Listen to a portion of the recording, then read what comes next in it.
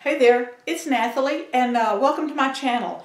Uh, what I'm going to show you in the video today is how I made this pochade box. Uh, DIY, this is for pa painting outside. I'm a watercolorist and so uh, I've got my watercolor palette. I've used this little box from Walmart. Anyway, I'll show you all about how I made this. Uh, and so you might decide that you want to make one of these too. Maybe just inspire you just a little bit. So don't go away. At Christmas at Walmart, I bought this art set. And I gave the art supplies to my granddaughter. And uh, so I thought I would make a my own little do-it-yourself pochade box.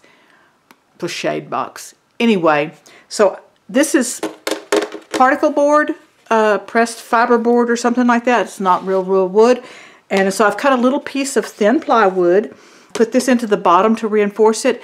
I'm going to put some little leg braces and I'll show you about that. But I'm just going to glue this in for right now and uh, let that dry. And I've painted a piece of quarter round trim and uh, I'm going to glue it. I'm using Gorilla Glue and I'm going to glue that to the back side of the box uh, because this will be my paint surface rather than painting on the inside of the box, opening up and painting using the inside as the easel part. This back part will be my easel.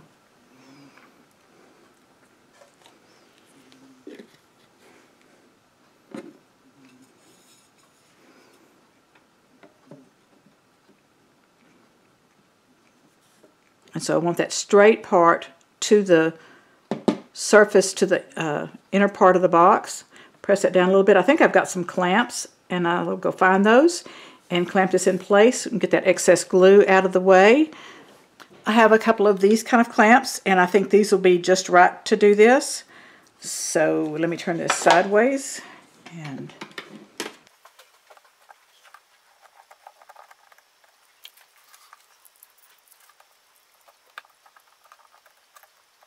All right, make sure everything is even where I want it.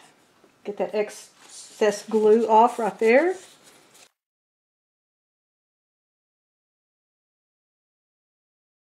Going to put some legs on the bottom of my box.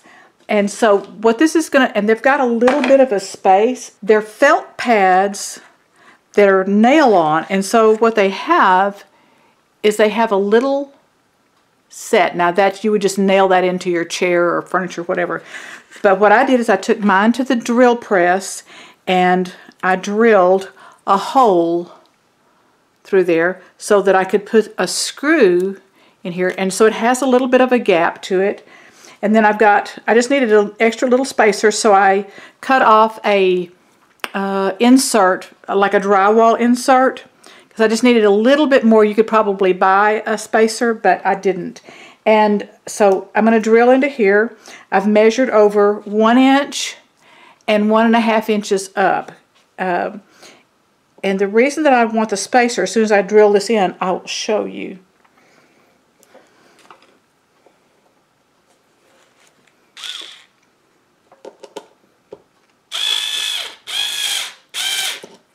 I'm going to drill it all the way in place just yet because I want to put this little tray in. I'm going to slide this in. Oh, this one hasn't been cut out yet. All right, so this is what it would do if the cuts were right. It would make a counterbalanced little side tray. And uh, of course now with just the one, it's not going to work so good. But here's the other one, so let me just do this. And I've got some more out in the garage that I've cut.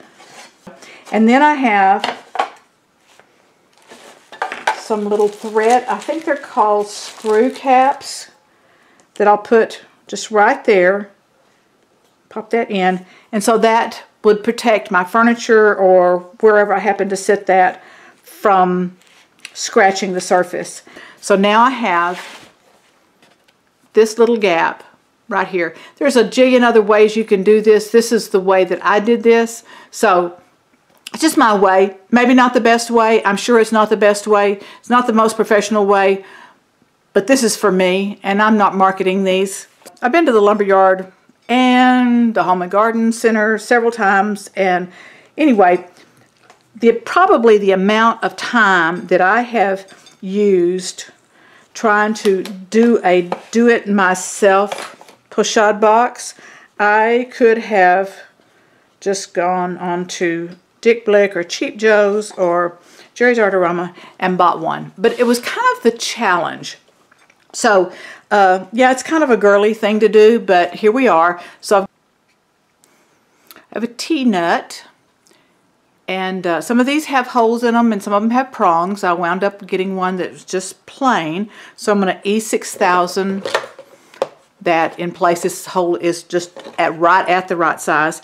And so what a T-nut does is it fits onto the plate on the bottom on a tripod. And so then this will just cl click into your tripod. I'm going to put some E6000, there it is, E6000 around the hole that I've drilled. And then I'm going to tap it in because it is a little on the firm side.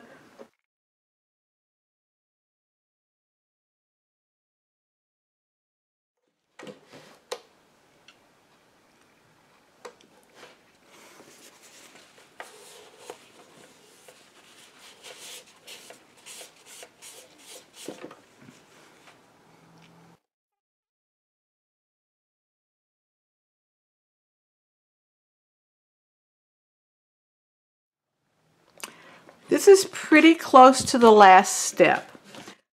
I had some, uh, maybe it's quarter inch plywood or Luan or something like that. Anyway, so I drilled the same size that is the shank of this little uh, foot thing here. And then I used my uh, table saw and cut in to get that out. All right and it doesn't really matter which is the front or which is the back but so I can slide that in and then when it's on the tripod it makes a little table. I'll show it to you on the tripod so you can see. So I've cut two of them and then it just slides off like that. So I've cut two of them and for travel and so there's a couple of other little things. Let me show you this. It was a hard decision on whether to put this where it would open up or down, but the handle was what decided it. I did not want the handle, like whenever I open this up to paint, I did not want the handle up here. And so and I put the little uh, quarter round here so it can prop my little tablet or whatever. Got a couple other things that I'm going to do here. But this, these two pieces of wood will sit in there. My next thing I'm going to do is um, I've got some D hinges coming, little D, uh, D-ring hinges, and I am going to put a strap on here for carrying. There, I've gone ahead and put that uh, little plate on there. I got some uh, D-ring uh, ring hangers uh, from Hobby Lobby. They also have these at Walmart. And so I'm going to put these on the side of the box and then I'll put a strap on there. So I'm going to use my ice pick to start a hole and my little screwdriver.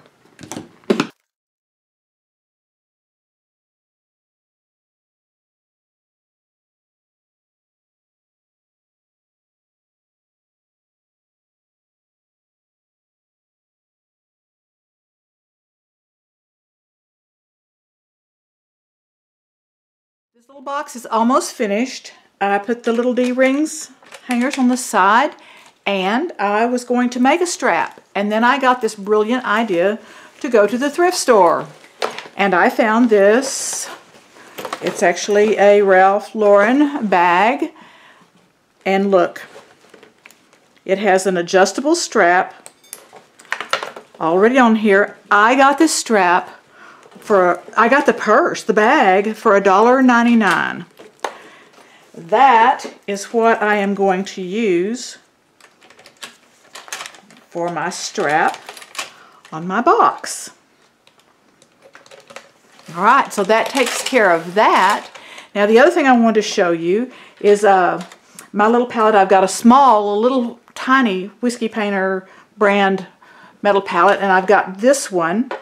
And uh, so I want to be able to secure it whenever I put the, the little lip on here. And uh, I got some Dollar Tree magnets. And let's see, can you see that? So they kind of, they would probably sort of hold. But these I picked up from Walmart. Yeah. Like to pull sideways. No, I'm pulling the whole palette. And they're little. And so I'm going to put, I think I only need just two. I'm going to put two little magnets. They're low profile. They're not very thick at all. And I'll put those on with some E6000 right there. And so I'll put that where I can set my palette right there in the middle of that.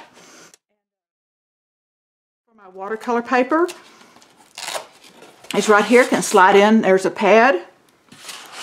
Some extra paper that just fell on the ground. And then I can just like loop that back in like that. It'll prop on this back side. I can either use it off the pad or anyway, it'll sit on the back, sit on that little lip. I, since I could not find the lift hinge that I wanted, I just got two mending plates and a wing nut and a little flat back bolt.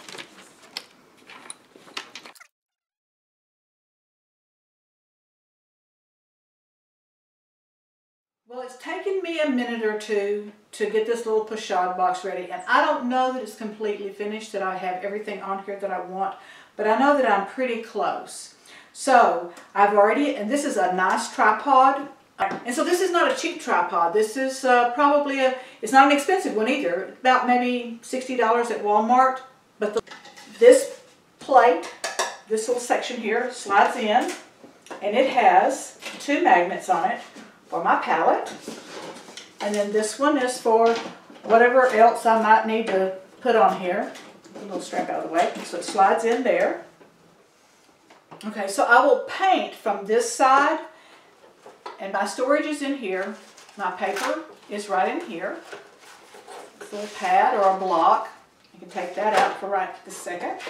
And then my palette, my travel palette, is right there. And I have a smaller one that I could also use and I'll set it on this side. Now there's a couple of ways that I can adjust this, and I've also got brushes in here, but there's a couple of ways that I can adjust this to, uh, to the height that I want. I can use the wing nut that's on the side and tighten it, or I've got this short, like a little six inch vintage ruler, love vintage rulers, okay, and I'll just prop that there. And then uh, then I'm at a slight angle. If I decide I want to paint flat, then I just close it and paint flat. But I've got that little lip on there that keeps the, the watercolor paper from falling off. Now the other thing I also have, I have a couple of holes. I'll probably put a couple more holes over here, drill them. And I've got a little S-hook. And that sits in right there. And I found this at the Dollar Tree little metal bucket. I'll put a little metal handle on there for right now. It's got a ribbon on it. it looks like paint splotches. And that's where I'll put water. I've got two of them, so one for clean water, one for dirty water, something like that. And I think I'll probably put a little lip on here so that the brushes don't roll off. But for the most part, this little pochade box is done. And so that means that I need to get outside and give this a try, paint outside on plein air, which means in plein air. Anyway, thank you so much for watching.